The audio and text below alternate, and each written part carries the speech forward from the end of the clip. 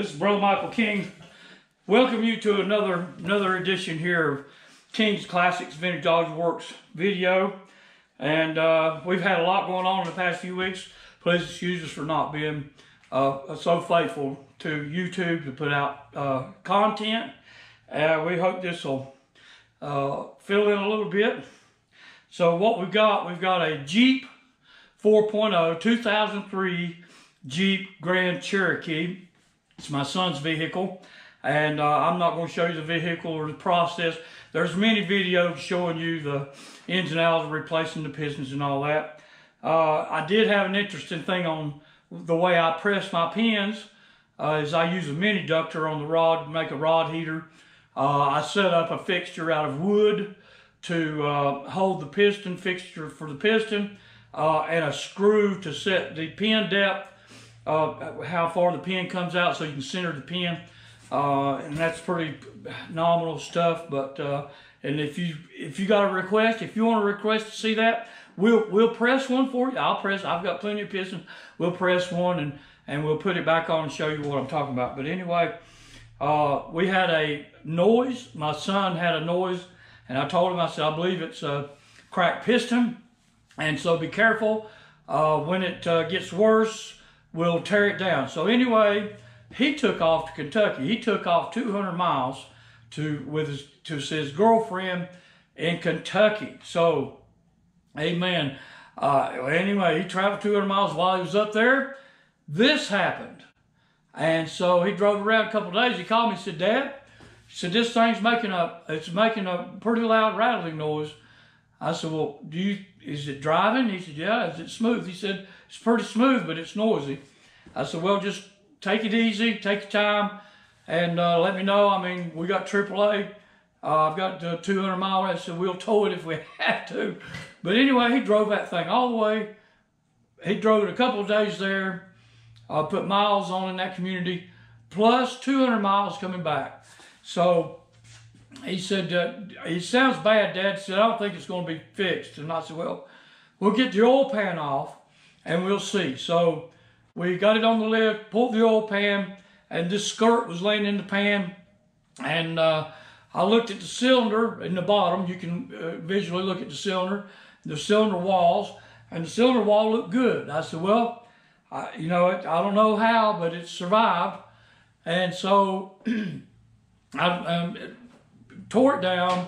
Of course, disassemble it, pull the exhaust, uh, the intake manifold, uh, uh all the front of the motor off and then pull the cylinder head off, push the pistons out. Well, we found four, four pistons were bad. One was real bad. And uh, then we had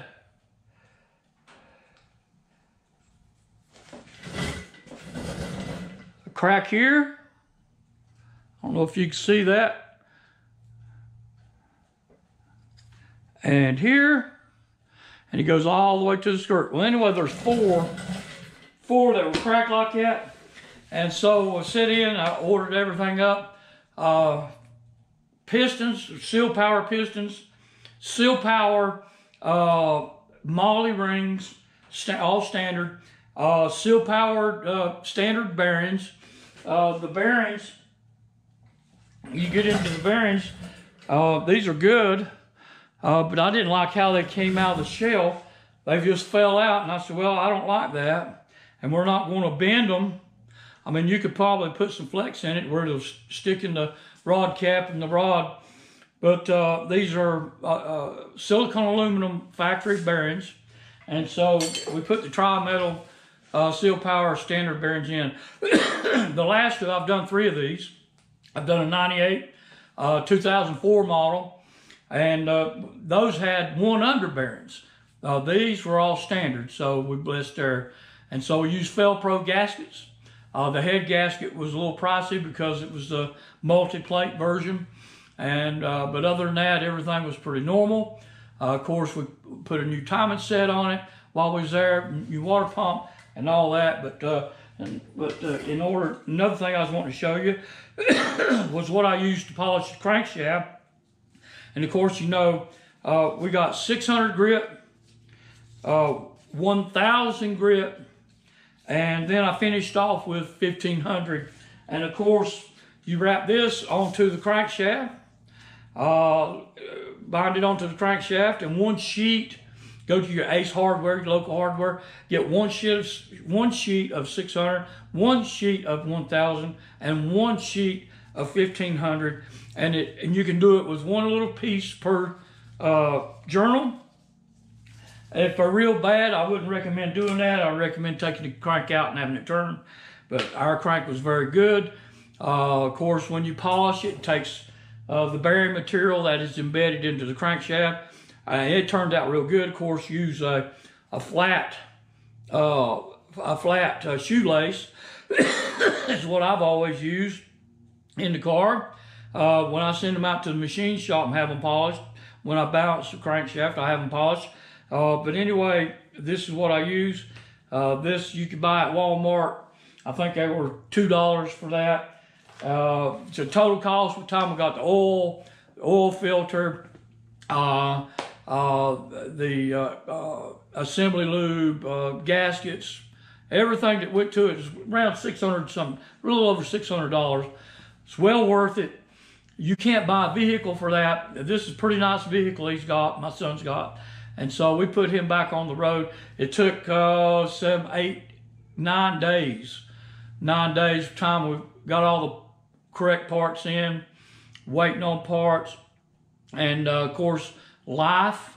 And uh, so uh, that wasn't too bad, I don't guess.